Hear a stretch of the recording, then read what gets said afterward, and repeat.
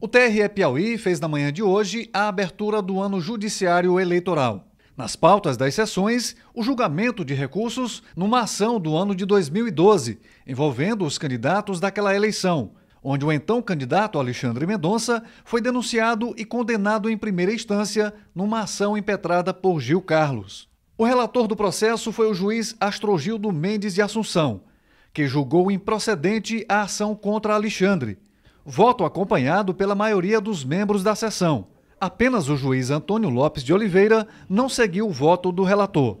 Com essa decisão, Alexandre Mendonça foi absolvido da acusação de abuso de poder econômico nas eleições de 2012, estando apto a concorrer a uma possível eleição suplementar, caso o prefeito Gil Carlos seja condenado em segunda instância no processo de 2016.